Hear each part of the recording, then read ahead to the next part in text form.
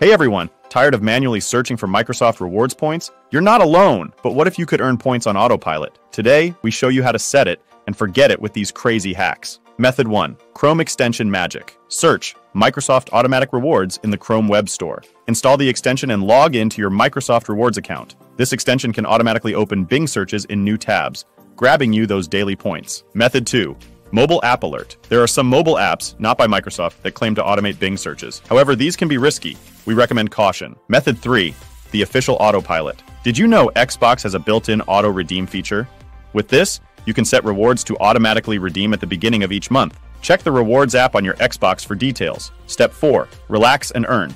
Remember, this extension helps automate searches, not guarantee points. Always check the Microsoft Rewards website for daily limits and official earning methods. But with this trick in your back pocket, you can supercharge your point gathering. Like and subscribe for more tech hacks. And remember, be smart and stay safe online.